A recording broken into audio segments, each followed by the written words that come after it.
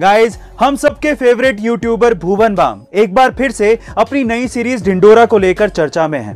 और अगर आपने गौर किया हो तो इस सीरीज़ के थर्ड एपिसोड में एक ही फ्रेम में भुवन बाम के पाँच करेक्टर दिखाई दे रहे हैं। और मज़े की बात यह है कि उस पूरे सीन को एक ही शॉट में फिल्माया गया है। पर सवाल यह उठता है कि भुवन बाम तो एक ही है।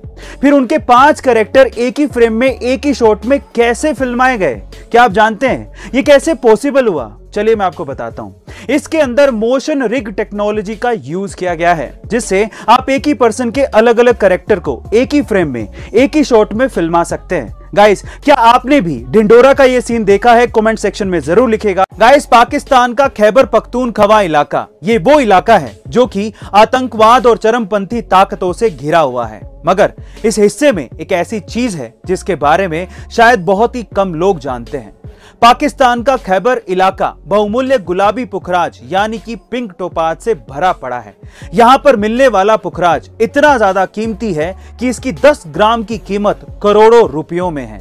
गाइस पाकिस्तान इस इलाके का इस्तेमाल क्यों नहीं कर पा रहा है, ये तो आप समझ ही गए होंगे, लेकिन फिर भी इसे आप कमेंट सेक्शन में लिखना मत भूलिएगा। गाइस आईफोन 13 प्रो मैक्स को लॉन्च हुए कुछ ही दिन हुए और इसका इस्तेमाल लोग जनरली मोबाइल के तौर पर तो कर ही रहे हैं। लेकिन इसके साथ साथ डॉक्टर्स भी इसे खरीद रहे हैं और वो सिर्फ़ बात करने के लिए नहीं बल्कि इलाज करने के लिए। जी हाँ गाइज़ आप ठीक सुन रहे हैं। क्योंकि इसके कैमरे की क्वालिटी इतनी अच्छी है कि ये अपने मैक्रो मोड में आई कैप्चर करके शार्प डिटेल्ड इमेज कैप्चर कर सकता है, जिसकी सहायता से डॉक्टर आसानी से इलाज कर सकते हैं। गाइस क्रिकेट वर्ल्ड कप के इतिहास में ऐसा पहली बार हुआ जब टीम इंडिया को पाकिस्तान से हार का सामना करना पड़ा।